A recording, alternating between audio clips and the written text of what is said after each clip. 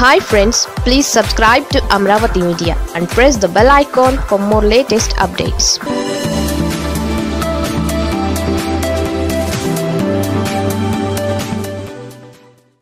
Amit Shah కళ్ళు ఇటువైపే ఇక ఫోకస్ ఇదేనట. మోదీ తరువాత ఆయనే కీలకం. అటు పార్టీలో ఇటు ప్రభుత్వంలో ఆయన పాత్ర అద్వితీయం. కేంద్రంలో హోంశాఖ మంత్రిగా అమిత్ షా బలమైన స్థానంలో ఉన్నారు. వచ్చే ఎన్నికల్లో కూడా కేంద్రంలో కమల వికాసం జరగాలని గట్టిగా కోరుకునే అమిత్ షా దానికి తగిన వ్యూహాలను కూడా రచిస్తున్నారు.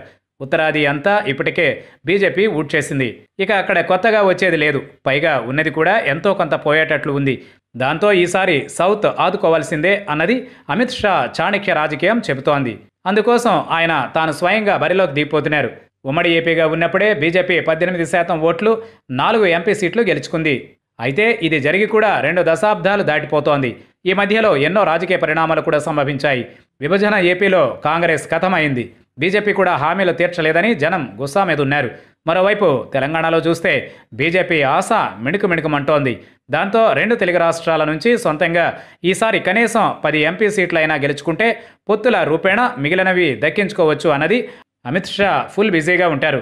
ఎంత బిజీ అంటే ఏపీ నుంచి సీఎం జగన్ అపాయింట్మెంట్ కోరినా కూడా చివరి నిమిషంలో రద్దు చేసేటంతగా అలాంటి అమిత్ షా రోడ్డు మీదకి వచ్చి టూర్లో చేయడం అంటే కుదిరే పనేనా?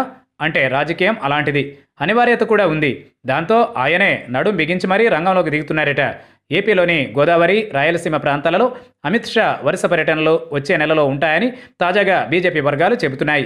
ఈ సందర్భంగా గోదావరికి గుండెకాయ లాంటి రాజమండ్రిలో ఒక సభ సీమకు ముఖ్య కేంద్రమైన తిరుపతిలో మరో సభను నిర్వహించాలని చూస్తున్నారు.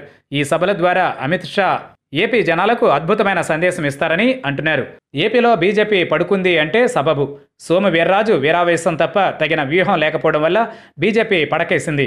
పెద్ద దిక్కు లాంటి నాయకులు కూడా ఎవరూ లేరు. దాంతో అమిత్ షా ఏపీ బీజేపీని ఒక కంట కనిపెడుతూ కమలదారులను ఉత్సాహపరుస్తారు అంటున్నారు. దానికి వచ్చే నెల టూర్లు ఆరంభం మాత్రమే అని చెబుతున్నారు. ఫ్యూచర్లో ఏపీలో పొత్తులు ఎత్తులు ఎలా ఉండాలి అన్నీ కూడా అమిత్ షా కనుసనల్లోనే సాగుతాయని చెబుతున్నారు. ఏపీలో అధికార వైసీపీ విపక్ష టీడీపీ రెండూ కూడా బీజేపీని పెద్దగా వ్యతిరేకించడం లేదు. అయినా సరే ముందు సొంత ఇల్లు చక్కబెట్టుకుని ఆ తర్వాత బేరాలైనా రాయబారాలైనా అంటున్నారు అమిత్ షా. మరి ఏపీ మీద అమిత్ షా కన్నుపడితే రాజకీయంగా సంచలన పరిణామాలు చోటు చేసుకున్నా ఆశ్చర్యపోనవసరం లేదు అంటున్నారు.